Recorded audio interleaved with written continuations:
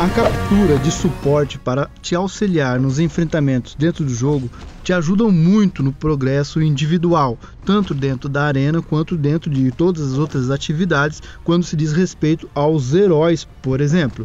Entretanto, em todo o mapa é possível se conseguir através das caças a conciliação ou a ajuda de outros inimigos, exatamente inimigos que você enfrenta, eles podem se tornar parceiros ou na verdade podemos chamá-los de servos, capangas, os práticos que o ajudarão nos enfrentamentos da arena, muitas vezes até como escudos. Conquistando esses servos, esses capangas que vão te ajudar, você consegue uma possibilidade de enfrentamentos individuais na arena ou na grande guerra de guildas de maneira muito mais efetiva, evidentemente conseguindo bons capangas de nível de raridade elevado com força e resistência suficiente. Existem alguns que são formidáveis, mas os melhores encontrados não estão evidentemente espalhados pelo grande mapa do mundo de Nightwood, e sim estão contidos dentro do abismo. Eu vou trazer para vocês nesse vídeo as maneiras de se encontrar alguns desses capangas ou itens até de maior raridade que você sem dúvida os contemplará, conseguirá, conquistará dentro do abismo. São itens que você não consegue aleatoriamente dentro do jogo. E dentro desse vídeo vou explicar para vocês, ou trazer pelo menos a lucidez, de quanto vale a pena você fazer os enfrentamentos dentro do abismo, sendo que, na minha opinião, muito provavelmente até agora no jogo, esse é o local de farm mais relevante a nível de raridade no que se diz respeito dos itens, heróis que você consegue muitos cristais de heróis únicos, itens para evolução dos seus equipamentos a nível lendário, a nível único, manganês e principalmente capangas de raridade muito peculiar, com uma força que sem dúvida vai fazer o seu desempenho ter uma diferença brutal dentro da arena. Mas o abismo, ele não é só um labirinto para você aleatoriamente estar buscando alguns itens de raridade. Na verdade, existe uma dinâmica onde você consegue performar ou conquistar os itens que seja de interesse sem perder ou ampliar muito o seu poder abismal, causando às vezes dificuldade na continuidade do seu enfrentamento. Eu estou falando dos mapas do abismo. Sim, quando você conhece pelo menos a sua trajetória nos mapas do abismo, você não vai ficar preso, assim como o Draco de Giza acabou de ficar preso nesse enfrentamento de loop absurdo e impossível de ser transpassado contra esses dois bandidos do gelo. Eles acabaram prendendo aqui num loop constante e infinito de atordoamento que não terá fim até perder essa partida.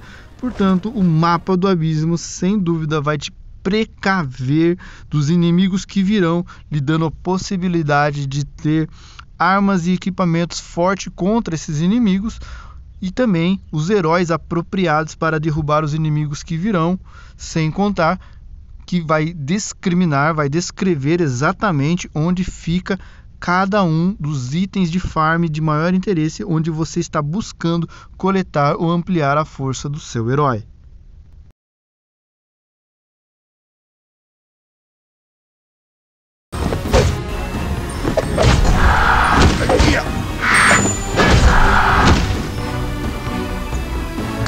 Eu comecei falando sobre os capangas porque dessa vez o Abismo ele liberou uma grande quantidade de pontos, grande mesmo, de localizações de pontos no mapa, onde existem vários capangas únicos, de raridade única, que é o famoso conhecido cão dourado. Muitos buscam encontrar esse cão dourado. Dessa vez o abismo está repleto, com pelo menos 5 ou 6 pontos diferentes onde ele está aparecendo e você consegue coletar e ampliar o seu nível de XP.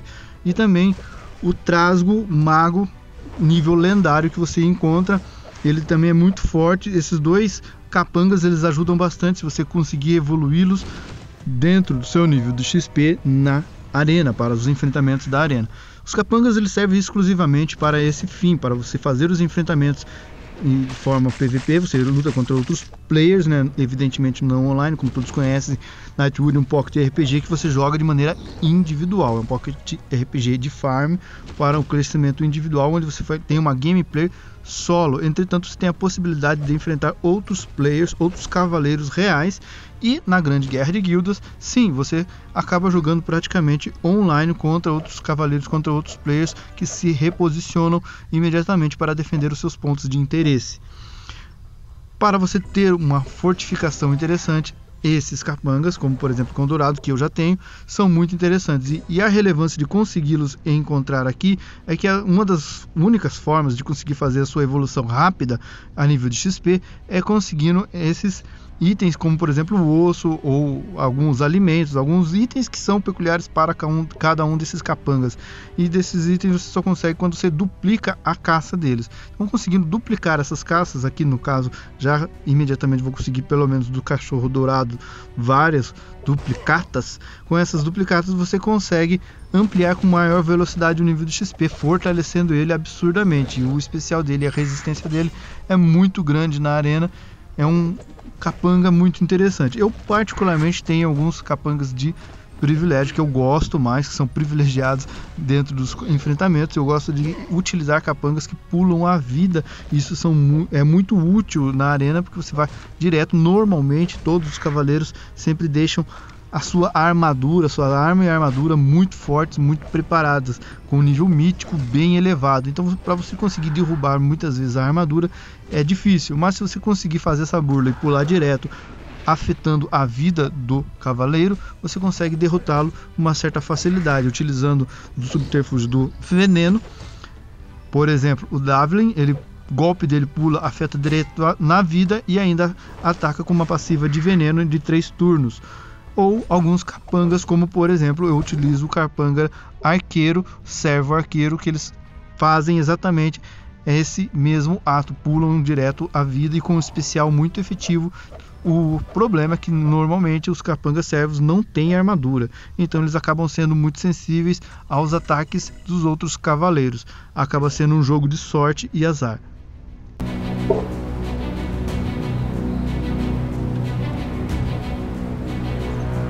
O Abismo tem essas atividades variadas e eu estou sempre tentando trazer uma lucidez a respeito de todas as atividades que esse jogo fabuloso tem, muito divertido, repleto de uma comunidade muito honrada de grandes e fortes cavaleiros. Tem um grupo de WhatsApp aberto com mais de 150 cavaleiros, sempre dispostos e muito ativos a estar trazendo ajuda, respostas e auxiliando essa grande comunidade que só cresce. Essa comunidade pungente de fortes, valorosos e valentes cavaleiros que eu tenho certeza você também faz parte. Então venha auxiliar essa comunidade, fazer parte desse grupo, dessa grande cavalaria da Fúria que tem crescido aqui no território nacional. Nightwood ele é um pocket RPG que ele tem uma grande relevância no exterior, grande relevância em outros países, mas está crescendo, está se mostrando a nível nacional com guildas muito fortes. Se você quiser fazer parte ou conhecer todos nós, tem um grupo do WhatsApp aberto, como disse aqui no link na descrição, é só clicar é, você será imediatamente direcionado. Fortaleça também essa comunidade, auxilie se inscrevendo, fortalecendo este canal, levando essa mensagem adiante. Deixe um comentário, alguma dúvida, caso tenha, eu estarei respondendo da melhor maneira possível. Auxilie essa comunidade, você faz parte fundamental desse grande agrupamento de cavaleiros valentes e valorosos que está dominando toda a pradaria. Eu sou Eliseu Rodrigues, esse aqui é o Night Play e agora vou apresentar, como vocês estão vendo, a facilidade que lhe proporciona conhecer os intricados caminhos que o labirinto do mapa do abismo fornece. Todos os abismos eles possuem já um mapa pré-escrito, pré-estabelecido pela Midoc e eles são liberados semanalmente lá no Discord oficial da Midoc, do jogo Knighthood. É, esse Discord ele é aberto, ele é livre, você pode entrar, você tendo evidentemente o aplicativo do Discord, você entra lá com o seu cadastro, ele está liberado e durante a semana, conforme vai desbloqueando os portões dos andares no abismo, os mapas vão sendo liberados também sequencialmente. Só que você só consegue, evidentemente, ter acesso 100% ao mapa depois que você consegue fazer a liberação com o seu cavaleiro. E esses mapas vão sendo disponibilizados. Você participando dos grupos de WhatsApp, normalmente, costumeiramente, vários fortes cavaleiros costumam postar lá alguns desses mapas de maneira até gratuita e isso é muito legal. É uma parceria. Eu quero agradecer pessoalmente a todos os cavaleiros que compartilham, que dividem esse privilégio conosco, porque eu sei muito bem que muitos desses mapas são pagos, é, são de comunidades fechadas e grupos fechados que eles conseguem, a nível financeiro, conseguir fazer esse investimento e depois de bom grado, muita honra, acabam liberando para todos nós conhecer os caminhos desse mapa fantástico que nos traz tantos itens de farm valorosos. E desse caminho no mapa, dessa vez, existe uma grande gama de capangas que foram liberados. Você consegue achar os, todos os caminhos pelo mapa, como está sendo indicado aqui. E eu estou seguindo esses caminhos, buscando os itens de melhor farm.